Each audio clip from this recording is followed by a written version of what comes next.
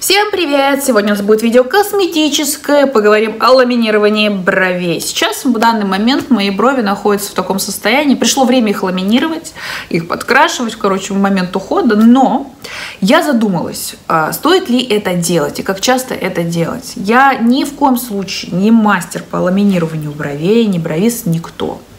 Я всегда ходила, ухаживала за своими бровями в салоны, и у именитых я мастеров была. Э, была я в России в салоне Натали Шик, мне делали брови, укладки. Мне много-много-много-много я этим, этим занималась, ухаживала. И за несколько лет я отрастила конкретную такую шевелюру на бровях. У меня текстура бровей моих, да.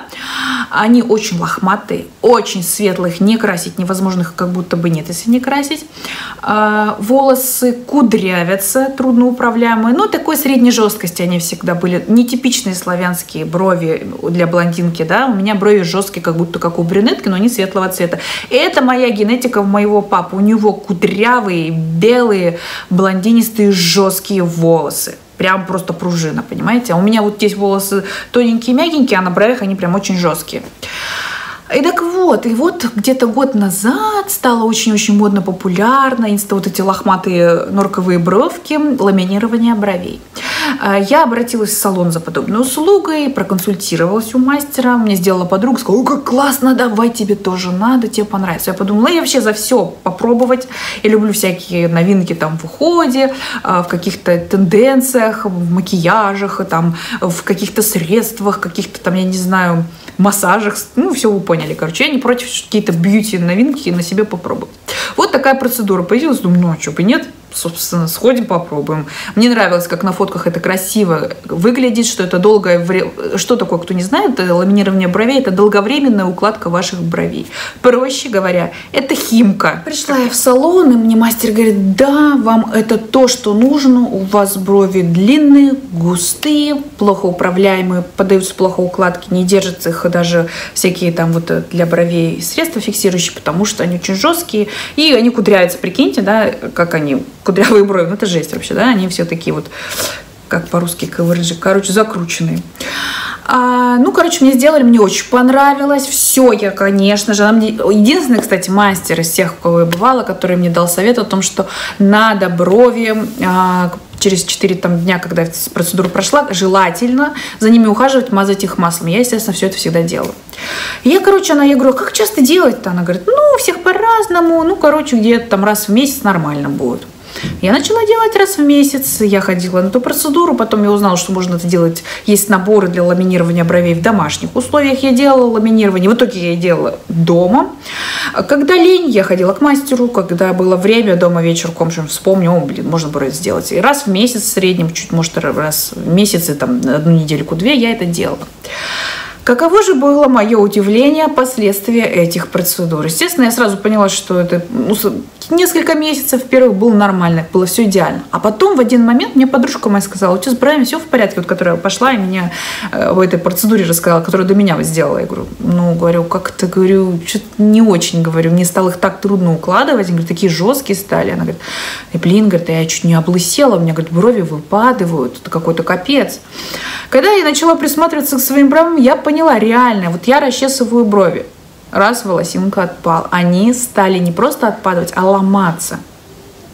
Причем, где они сломались, вот эти пеньки остаются, новые неплохо растут луковицы, но волосы, которые были отрощены, то есть они пережглись, перегорели вот этим химическим составом и не ломаются очень легко. Как бы и вы, прикиньте, вот если логически подумать, как бы вы на волосы делали химку каждый месяц. Прикиньте, что с волосами, это просто не то, что пакля, это, блин, вот э, проволока вот так вот торчала, честное слово. У меня стали крайне жесткие брови, когда последний раз я была у мастера, месяц назад, она мне сказала, боже, я встречаю первый раз девушку, у которой славянский тип внешности, светлые волосы, а брови жесткие, как блин, не у всех турчанок такое будет. И она была просто в шоке.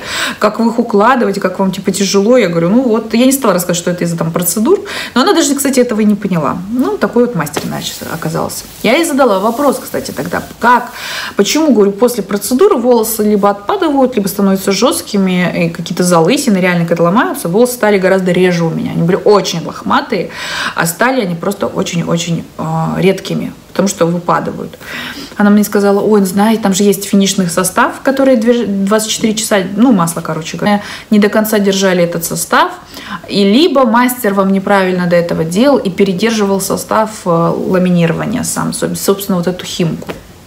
Но если меньше брать время выдержания этого средства, то они такой жесткий волос не берут. Волос остается вот в своем направлении. То есть уменьшить время процедуры воздействия химического вот этого элемента на сам волос э, эффект будет не таким хорошим. Либо он будет, но не таким долгим. Ну, короче, там на чуть-чуть совсем, на недельку, на две, потом все. Самое то, что ужасно, когда ты делаешь все в порядке первое время – Хватает на, ну, на неделю мне уже хватает, на полторы. Потом просто не резко, учитывая, что я их постоянно мажу маслом каждый вечер. Все, я это придерживаюсь ухода, я не филоню. Они потом начинаются как ежик во все стороны, и вообще их не ложь, и они тут же начинают быстро-быстро закручиваться. Вот моя проблема лично, это закручивание этих бровей, волос, они вот просто не поддаются их. Либо как-то подстригать вот этот закрученный вариант, что они очень длинные. Когда мастера говорят, ой, нельзя ни в коем мастера делают кто разрешает, допускает коррекцию чуть-чуть где-то подстричь, ну, это типа брови. Понимаете, если брови лохматые, восточные, как ты там где-то не пострижешь, там ну, так тоже не получится все уложить красиво. Такие, когда кусты, кустарники. Вот у меня больше к этому варианту кусты-кустарники. Есть а, бровисты, которые говорят, что ни в коем случае постригать нельзя, нарушается там арка, вид бровей и все такое прочее.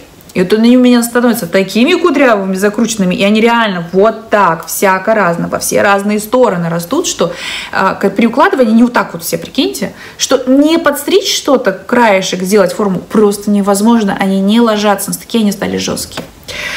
Я, конечно, офигела, но когда начала копаться на форумах, читать отзывы, вообще, что девочки пишут, я думаю, что же я, дурочка-то, раньше этого не узнавала, не читала. Главные последствия – это просто можно остаться без бровей. Настолько это все это пережечь, засушить, что ваши брови нафиг отвалятся э, выпадают частями, кусочками и становятся более лысыми проплешины, которые чаще нужно замазывать какими-то средствами. Ну, там, а, не знаю, там, карандашом вы закрашиваете, тенями, чем там вы пользуетесь, да? Я помадкой для бровей. Вот самый такой вариант нормальный. Короче говоря, брови становятся лысыми, жесткими, не хуже поддаются укладке, то есть они становятся послушными только на тот момент, пока вот недельку держится ваша вот эта а, фиксация ламинирования бровей. Я вот к тому призываю девочка, а оно того стоит? А кто делает ламинирование на ресницы? А у меня бабушка тоже делала, она фактически без ресниц осталась. Они стали реже, тоже выпадывали, сушились. Естественно, слава богу, ресницы растут заново потом, да, со временем. Но у нее настолько где-то за полгода регулярного э, вот этой процедуры стало так, что у нее реснички многие пообломались, повыпадывали, они стали очень жидкие, их практически стало не видно, хотя она брюнетка, у нее черный волос. И они такие жидкие и стали очень-очень короткие. Она их красила тушью, раньше было тушью накрашивать, красит там до брови достает, а теперь пол сантиметрика маленького торчит, вот такие обрубочки торчать стали, пенечки вот эти отрастали, ну это просто жесть. Я к тому, что призываю, может, я ни в коем случае не претендую на звание инстанции, я права, и я вообще не мастер в этом плане. Я человек, который это прошел, увидит результаты вот такие.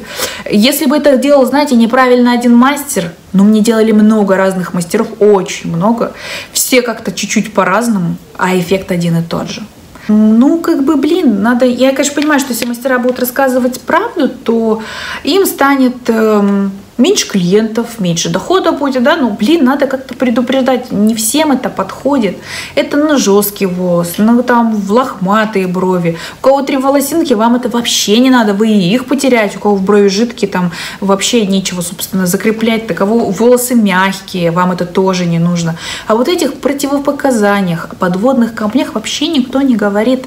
А, я прихожу к выводу, что скоро это станет не модным, все волосы поотвалятся, кто-то делал регулярно, например, как я. И все будут, э, что-то новенькое появится в индустрии, что-то там, какое-то другое вид оформления. Это оформление химическое вашей брови, воздействие на ваш волос. Это истончение, это опасно, это не, происход... не просто так красиво. За любую красоту надо платить не только денежкой у мастера, но и, собственно, последствиями. У меня, слава богу, есть чему выпадать. У меня нормально лохматые брови, мне их не особо жалко но просто приятного мало, короче говоря. Знаете, о последствиях последствиях я вас предупредила. Мягкие волосы, их немного жидкие, поддающиеся не надо, эта процедура не для вас. Это только для густых, супер лохматых, у кого в достатке волос, кто не боится их потерять, что они станут пореже, полысеют, тогда можно попробовать несколько раз сделать. Но честно, лучше вообще не начинать. Потому что ты на это подсаживаешься, и в итоге они потом такие становятся сухие во всю сторону пучками, и уже без ламинирования ты не можешь справиться со своими бровями. Девочки, пишите в комментариях, кто какими-то такими процедурами пользуется, которые казались бы распиаренные, классно, круто, эм, популярные очень, хорошие отзывы, но на самом деле там есть подводные камни, это не так безвредно и безопасно на самом деле, как оно есть. Жду ваших комментариев, скоро увидимся, всем пока.